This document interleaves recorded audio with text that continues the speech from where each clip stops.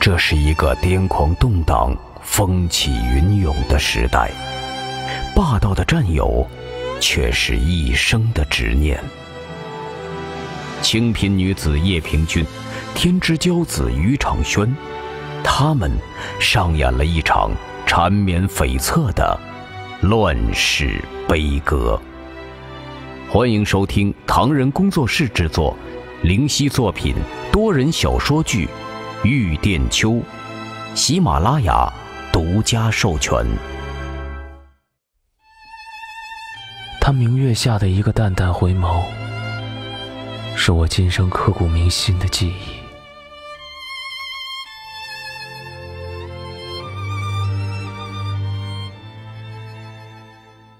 第十集，又过了一天。傍晚略略起了些风，天气多了一分冷意。李太太刚走到客房的外面，就见丫头端着托盘从里面走出来，托盘上的饭菜也是纹丝未动的。哦哟，你们还真狠哦！让我陪着他到那去，那哪里是监狱哦，竟是阎罗殿，鬼哭狼嚎的，差点没吓死我。哎呦，这是我的错。竟吓得夫人花容失色了。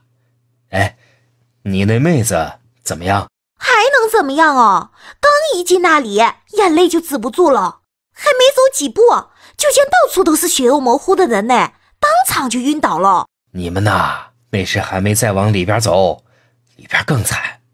这么跟你说吧，那儿的狗啊，从来都不用喂的。李伯仁这样一句话，更是让李太太都心惊肉跳起来。就听得客房里传来“咚”的一声，李太太闻声忙推门进去，只见叶平君从床上掉了下来，满脸的眼泪，仿佛就要背过气去一样，跌倒在地板上，拼命的喘着。李太太忙就走上去了：“哦哟，平君妹妹啊，你这是怎么了？快到床上躺着去。”你们这是要逼死我！我知道，你们这是要逼死我。哎，你这是什么话？是你求到我们家门前来，我们也好心好意的帮了你了，难道还嫌我们不够辛苦吗？实话告诉你，你自己不赶紧去求个正主，还在这里拖延着，只怕江学庭的手脚啊，都进了狗肚子了。那一句话说的叶平君几乎是魂飞魄散，只把那头一扬，两行泪落，几乎是当场晕了过去。吕伯仁却甩手走了，剩下李夫人在这里劝他，也尽是说些安慰之言，一面亲自扶着平君到了一个镂空刻花金粉的梳妆台前坐下，一面亲手开了浮雕象牙的装书。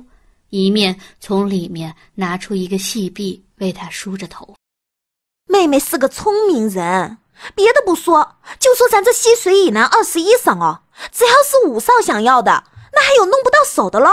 他也是个天之骄子，能看上你那是你命好。你一再的熬着，这不是自讨苦吃吗？倒还连累了你那姑姑，如今跑也跑不掉，索性就拼上个四五年的青春年华跟着他嘛。等过几年他放了你，你也还年轻，好吧？这钱财方面啊，他也不能亏待了你。其实仔细算一算这个账，你也不亏什么嘛。要怪也只怪平君妹妹啊，这样出众的相貌，我若是个男人啊，我也抢了去了。晚上伯仁叫了他来，你看到时候啊，你可要陪一陪了，别这么苦着脸，惹了五少不高兴啊，你那心上人又不知道要遭多少罪嘞。叶平君就坐在那里，听完李太太说的这些，只慢慢的把眼睛一闭，就见两行泪从眼睫毛里滚落下来。他这几天简直不知道流了多少眼泪，这会儿只觉得脸腮都被眼泪遮得一阵阵生疼。他也明白自己的脸哭得不成样子了，全且压住了五内如沸般的痛楚难过。开口静静的说了一句“好”。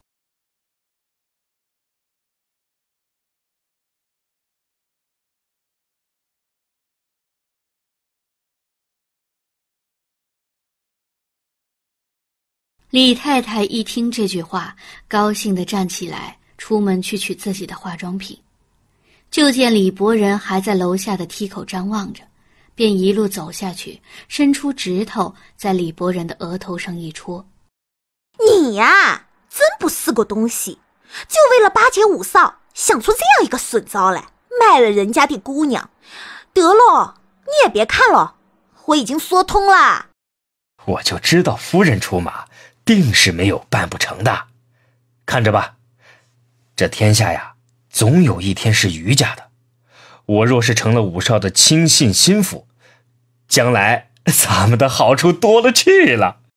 看把你得意的，还不快去请武少晚上过来？李伯仁心中更是无限雀跃，果然去打电话。到了晚上八九点钟，就听有下人来报说武少到了。李伯仁忙就迎到门口去了。武少大驾忙得很，哎呀，可算是到了。哼，如今万事齐备，只欠武少的东风了。人呢？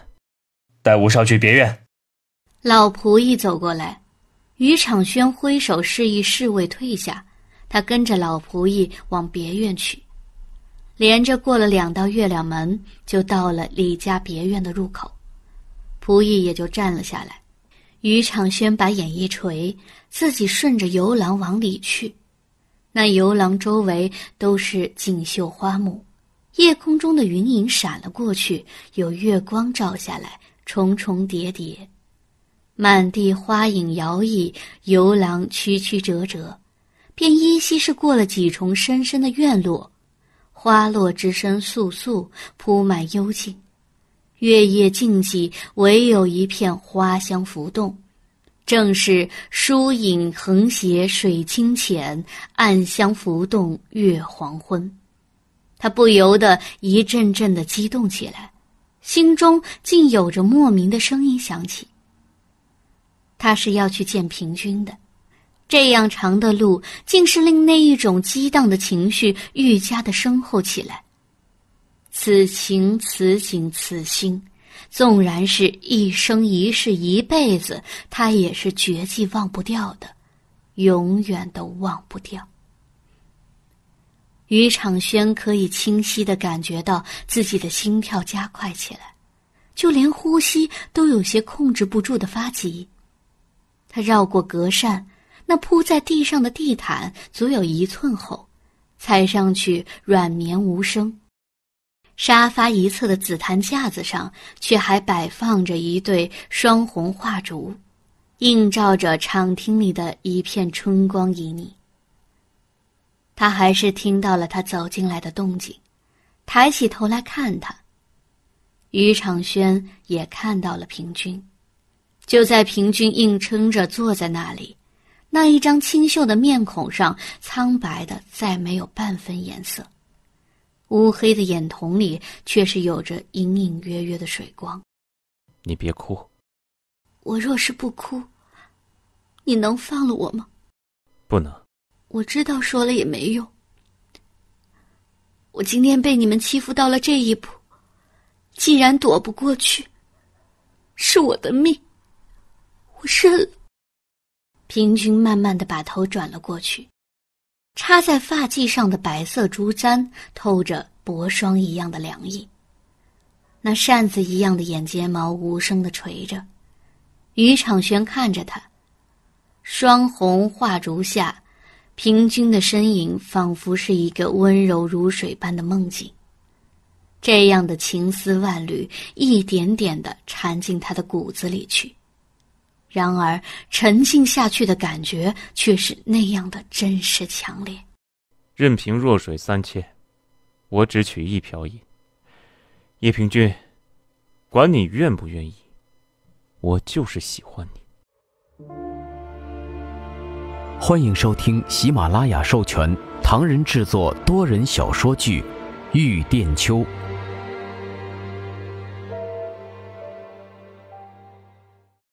也略有些深了，月亮高高的挂在天边，叶太太还在屋子，就听得大门外一阵车声，她忙从屋子里一路走出来，就听院门咯吱一声响，叶平君已经走了进来，正在那里关门。李先生、李太太怎么说啊？学婷怎么样了？下午的时候，他哥哥来了一趟，说是学婷让找什么穆先生帮忙。哎，平君呐，我都快急死了，你快跟我说一句话。平君就是不说话，一路走到了里屋里。叶太太心急如焚，跟着一路快步走了进来，就见叶平君打开了书桌前的抽屉，在那里翻找着什么，找了半天也没有找到自己要找的东西，却抬起头来问他：“妈，我扎头发的红绒绳呢？”你这孩子，怎么不知道个轻重缓急呢？我跟你问学婷的事儿，你倒找起红绒绳了。这大半夜的，你还要扎个头发吗？叶平君看母亲动了气，也不多说，只低着头在那里翻找。叶太太看那一小卷红绒绳，就放在抽屉的一角，可平君却偏偏看不到。就在你手边的东西。你怎么还看不见了？叶平君这才找到了那卷红色的绒绳，就站在书桌前，将头发散开，认认真真的梳起来。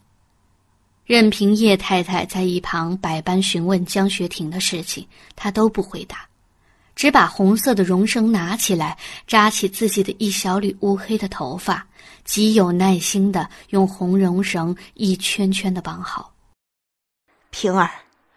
学婷到底能不能好好的回来？你倒给我一句话。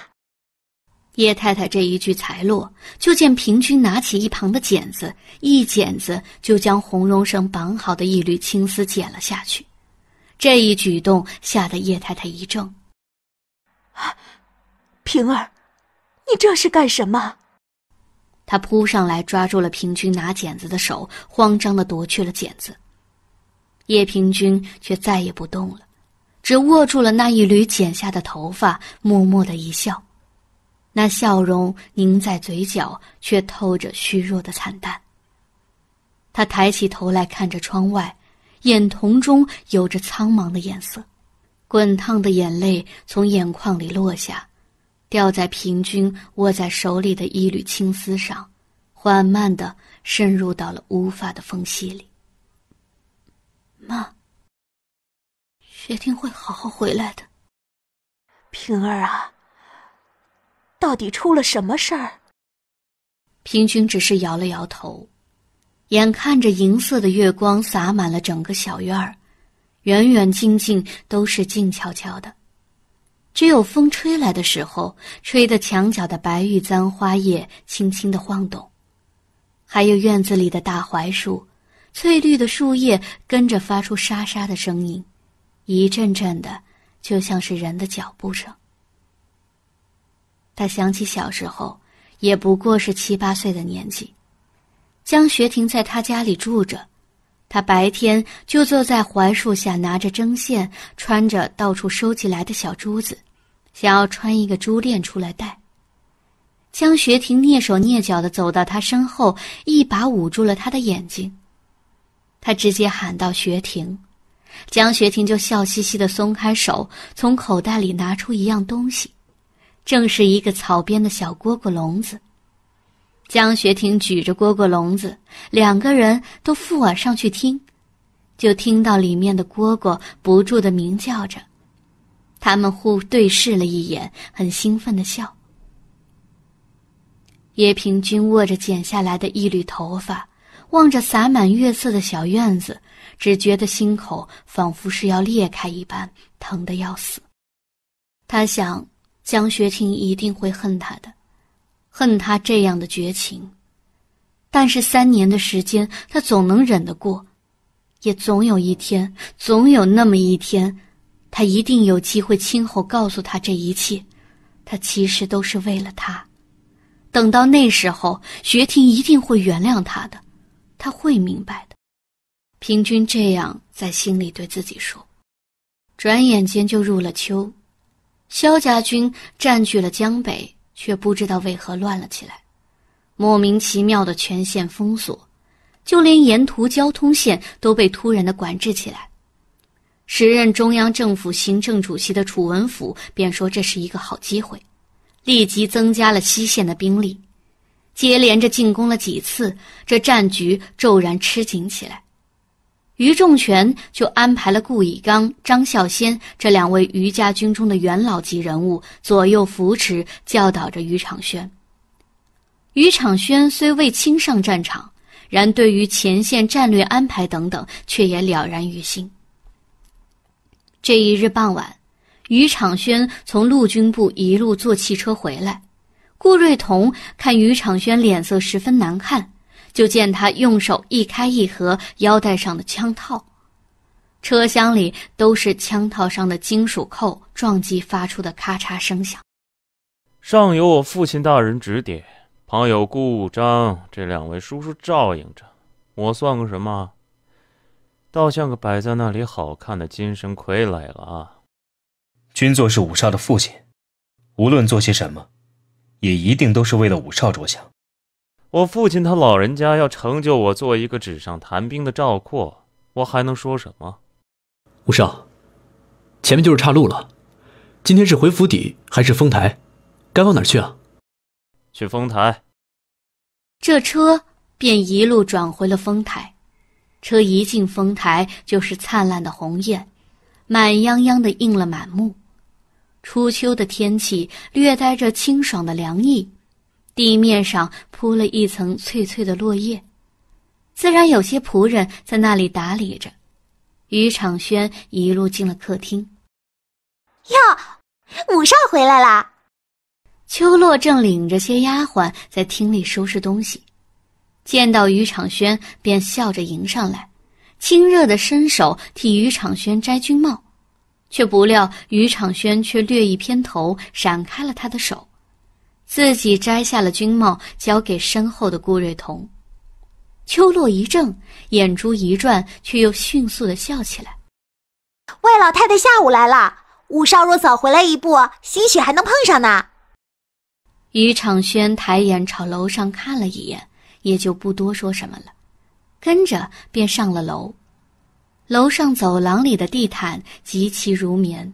他慢慢的走着，一直走到走廊尽头的一个房间，伸出手来敲了几下，也没人应声，他就放下手，直接推门进去了。只见卧室内静悄悄的，百叶窗开着，透些清凉的风进来，亦有流光溢彩的夕阳照进来。云锦窗帘直拖到地毯上去。上面是用金线绣着的“吉”字结，亦随着风轻轻的晃动着。紫檀木大床上铺着柔软的锦被，绣着双鸳图的枕面一侧垂着些软软的流苏。于长轩轻轻的朝前走了几步，就见地毯上散落着四五颗晶莹剔透的珠子，他低着头一一捡起来，再往前走了几步。就见平君坐在床一侧的地毯上，拿着针线在那里穿珠子，一颗一颗的穿着，很是认真仔细的样子。他的头略低着，额角就有些细碎的小短发垂下来，浮在他的面颊边上，若有若无的轻动着。这样的浮动，便仿佛是有一根小小的羽毛，一点点的从他的心上。痒痒的划过去。平均在淡金色的夕阳中，略略的抬起头来，目光透着澄净的光，用纤长柔白的手指轻轻的拉起细线，就见一颗晶莹的明珠顺着线滑了下去，与刚穿好的那一串珠子连在了一起，发出清脆的撞击声。于长轩走到他的跟前，俯下身来。用手指将他鬓角边的发丝掠到耳后去。这里的头发好像比后面的短了许多。嗯，我听说你妈下午过来了。我妈来看我，跟我说了一下午的话。她还说，你给她安排了新住处，挺好的。这样才好，你应该多跟人说说话，哦，你不是还有一个叫白绿园的同学？你也可以邀请他来家里做客。家。他穿珠子的动作无声的一顿，嘴角微涩，好似苦笑的模样。叶平君转头看了他一眼，那目光很平很静，便仿佛是看着毫不相关的人一般。他哪里还有家？他已经被从原来的世界里连根拔除了。于长轩斩断了他所有的退路，那样急，那样快。